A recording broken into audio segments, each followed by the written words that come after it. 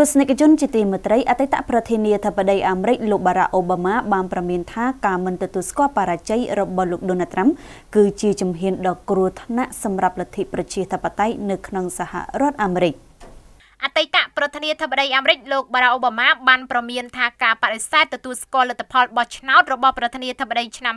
2020ពីសំណាក់លោកប្រធានាធិបតីដូណាល់ត្រាំគឺជាជំហានមួយដ៏គ្រោះថ្នាក់ដែលអាចបំផ្លាញទៅដល់ប្រជាប្រិយភាពនៅក្នុងសហរដ្ឋអាមេរិកនេះបើតាមការចេញផ្សាយដោយសារព័ត៌មាន Politico នៅថ្ងៃសុក្រទី13ខែវិច្ឆិកាឆ្នាំ